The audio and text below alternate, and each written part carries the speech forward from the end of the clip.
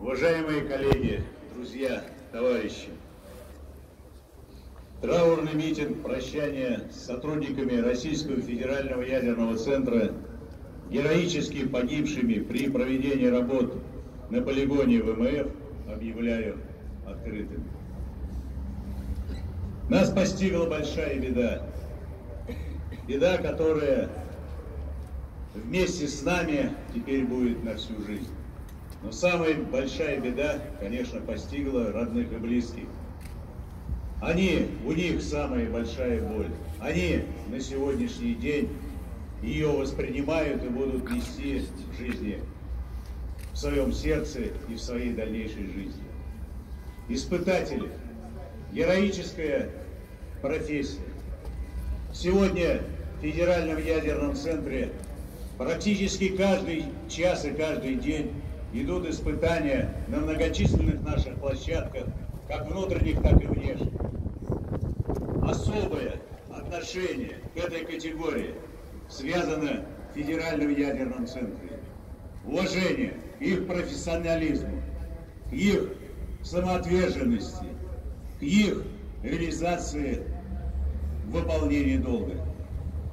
Конечно, это та категория наших ученых и специалистов, через руки которых наши изделия проходят в самых крайних критических ситуациях. Именно это обстоятельство приводит в эту категорию самых талантливых и самоотверженных людей, которые преданы нашему общему делу. Сегодня, провожая последний путь наших товарищей, мы вспоминаем о том, с каким энтузиазмом они готовились к реализации этой задачи. Стенды, тренировки, аттестации, обсуждения. Казалось бы, все было предусмотрено, но трагическое стечение различных обстоятельств привело к этой трагедии и привело к этому результату. Мы сегодня преклоняемся перед мужеством и героизмом этих людей, истинных защитников Отечества.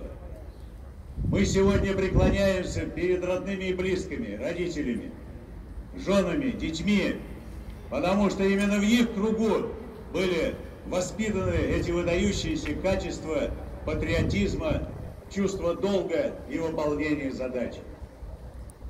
Сегодня большой день, большой траур, большая наша боль.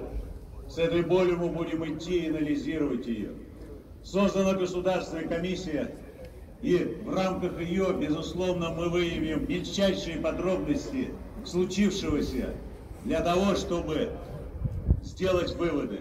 Но главный вывод, который мы сегодня делаем, о том, что пять наших товарищей до последнего боролись за реализацию в управлении ситуацией с тем, чтобы она пошла по заданному сценарию. К сожалению, это не удалось. И это приносит особую боль и особое чувство вины и ответственности.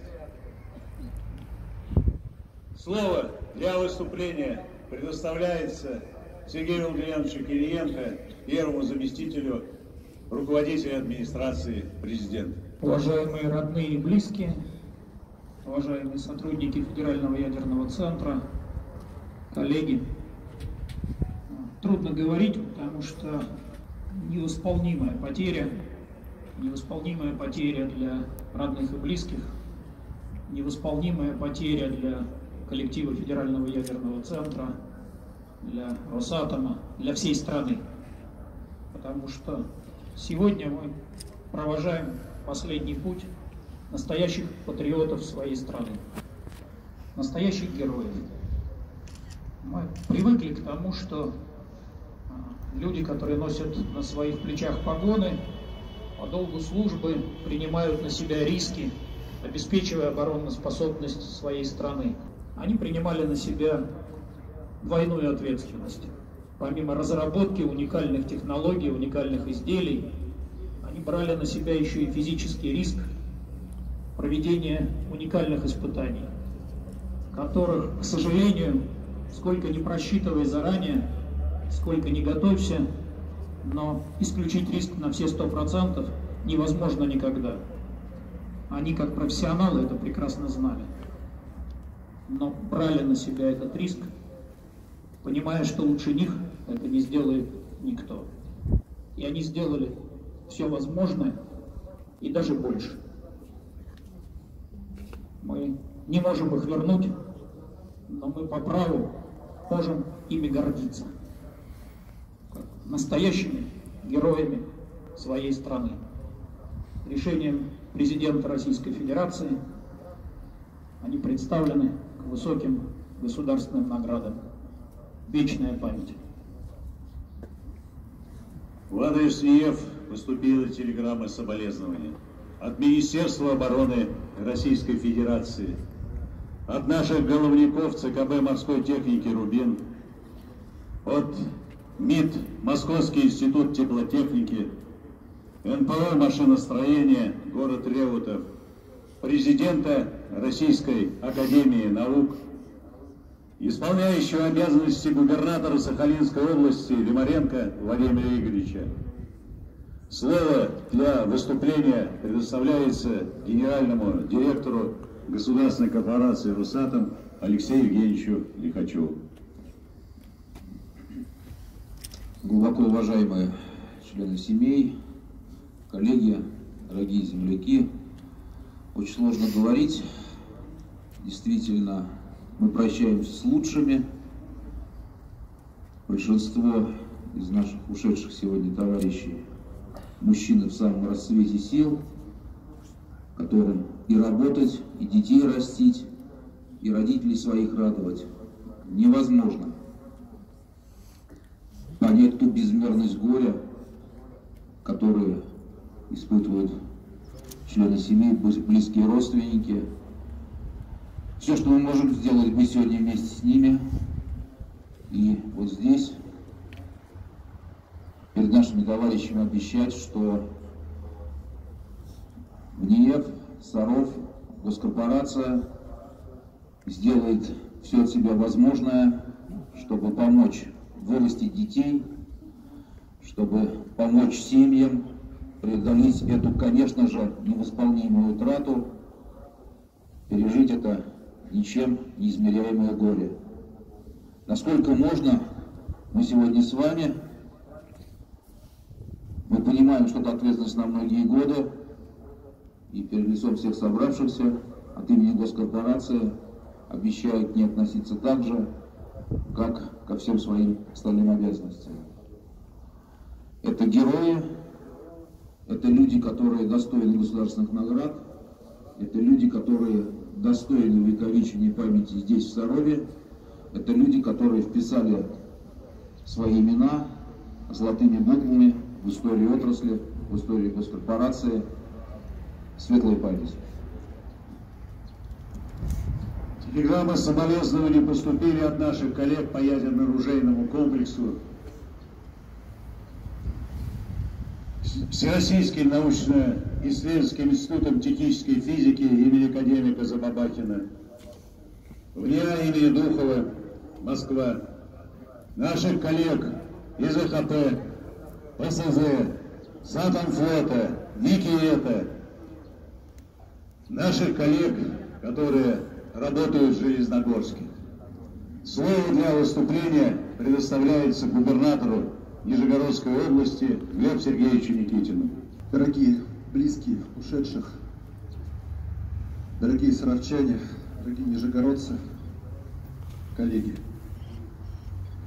Действительно очень тяжело тяжело на душе, и слов найти практически невозможно, но все-таки они есть.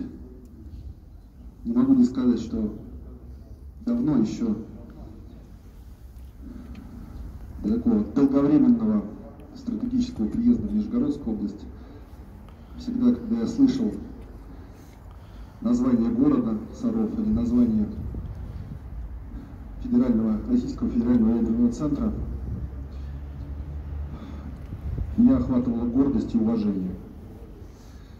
И сейчас все нижегородцы, всегда вспоминая об этом городе, вспоминая об этом институте, также гордятся. Научная элита, лучшие из лучших,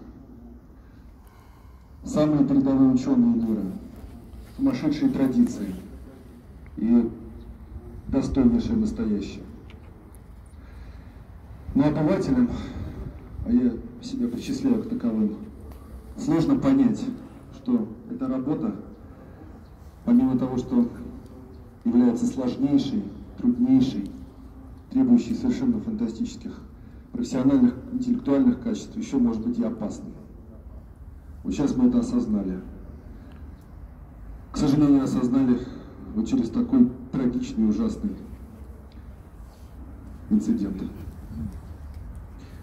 Мы теперь понимаем очень хорошо все, что те передовые позиции страны в мире, лидирующие позиции, способность для нее оставаться великой державой, дается в том числе и через жертвы. Да, крепость ядерного щита в первую очередь направлена на то, чтобы на планете был обеспечен мир – мы создаем то, что создаем для того, чтобы был мир. Вот сейчас эти герои отдали свои жизни за мир. Отдали свои жизни за обеспечение безопасности страны. По сути, это тоже фронт, только научный, интеллектуальный, инновационный. Ну еще что хотела сказать. Мне кажется, я понимаю, что такое Орфяц для Сарова, а Саров для Орфяца. Мне кажется, что мало семей в Сарове не включают в себя либо бывших, либо действующих сотрудников центра. То есть это как большая семья. Я представляю себе, как вам всем сегодня тяжело. Мы скорбим вместе с вами, и я уверен, что абсолютно не погрешу против истины, если скажу, что с вами все нижегородцы. Ну и не только нижегородцы, с вами вся страна. Мы, конечно, действительно понимаем, что как бы нам не было тяжело, гораздо тяжелее, непередаваемо тяжелее, неописуемо тяжелее близким и родным. Крепитесь, держитесь. Генеральный директор сейчас заверил вас, обещал, что Росатом вас не оставит. Так вот я хотел присоединиться и сказать, что правительство Нижегородской области будет стоять плечом с плечом с центром, с Росатомом. Мы все будем вместе, мы будем все стараться вам помочь, чем сможем. А ушедшим вечная память.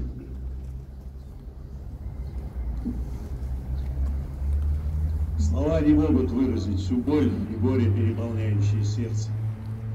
Не передать непомерных страданий родных и близких, внезапно потерявших отцов, мужей, сыновей.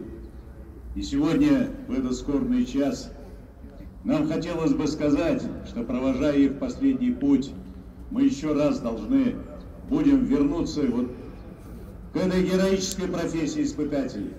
И те решения, которые сегодня приняты, и одобрена и поддержана государственной корпорацией «Росатом» и Нижегородской областью, связаны с тем, что 8 августа 2020 года в городе Сарове будет памятник испытателям.